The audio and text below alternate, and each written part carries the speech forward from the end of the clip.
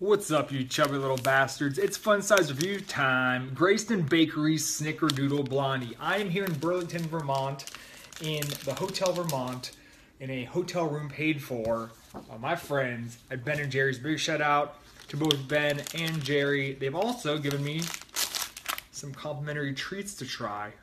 Snickerdoodle Blondie. What more needs to be said? Am I right? Here we go. Oh my god. This thing is so soft. Wow. Like, uh, I expected to be a little more. Hold on, get this. Oh, that crust. This is strong. This is strong stuff here. Just the right amount of cinnamon, sugar. Good way to start this trip off. I give this a 9 out of 10. You can get your hands on it, you want it in your life.